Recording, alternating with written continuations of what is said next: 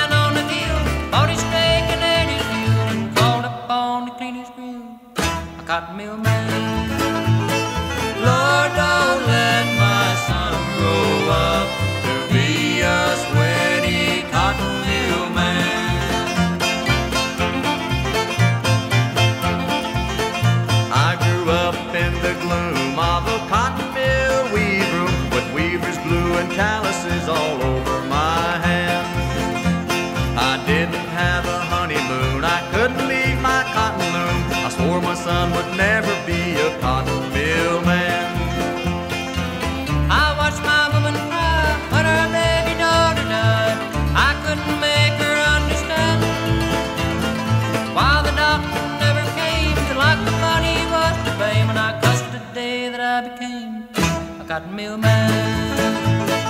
Lord, don't let my son grow up to be a sweaty cotton mill man. The company taught us all the rules on how to work with spinning spools so the boss's son could drive a big black sedan. The company owned the houses educated cotton mill man.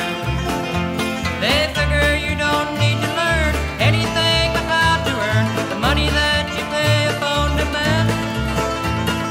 To the general store they own, or else they'll take away your home and give it to some other homely cotton mill man.